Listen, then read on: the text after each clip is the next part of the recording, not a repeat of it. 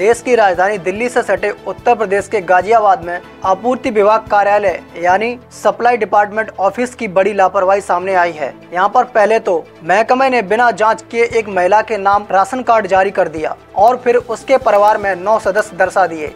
सबसे हैरान करने की बात तो यह है कि परिवार के अधिकांश सदस्यों की जात अलग अलग है और महिला के सभी आठ सदस्यों को बेटी बेटे तथा एक युवक को देवर होना दर्शाया गया है। यहाँ खास बात यह भी है कि परिवार के सभी सदस्यों के पिता के नाम भी अलग अलग हैं। मामला उजागर होने पर विभागीय अधिकारियों में हड़कंप मचा हुआ है। वहीं अब अधिकारी मामले को दबाने में जुटे हुए हैं। आगे लोगों ने आरोप लगाया है कि आपूर्ति विभाग के अधिकारियों ने राशन डीलर के साथ मिली भगत करके फर्जी राशन कार्ड जारी कर लिया है, जिन पर राशन डीलर राशन निकालकर सरकार को चूना लगाने का काम कर रहा है। तहसीलदार उमाकांत तिवारी का कहना है कि मामले की जाँच आपूर्ति विभाग के अधिकारियों को सौंपी है। इस बारे में आपूर्ति विभाग अधिकारी एसपी मौर्या से पूछा गया।